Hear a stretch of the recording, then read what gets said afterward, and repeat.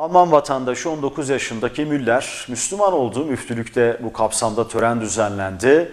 E, müftüyü görünce de ve bir anısı aklına geldi. Gözyaşlarına hakim olamadı. Müftülükte ihtida töreni vardı.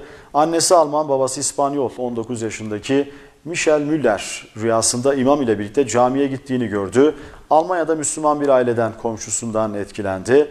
İslamiyet'e geçmeye karar verdi. Kayseri Müftülüğü'nde 19 yaşındaki Müller için e, ihtida töreni vardı. Ee, önceki dini Hristiyanlık.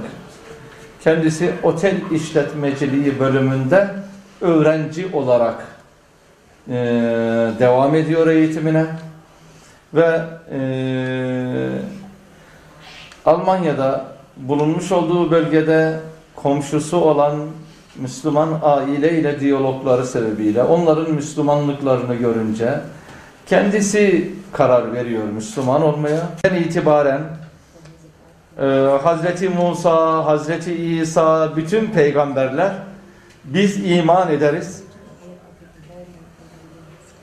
Bu peygamberlerin en sonuncusu ise Hazreti Muhammed Mustafa'dır. Dünyada hidayete ulaşması gereken milyonlarca, milyarlarca kardeşimize de hidayet nasip eyle ya Rabbi. Evet, Bismillahirrahmanirrahim. Hocam buraya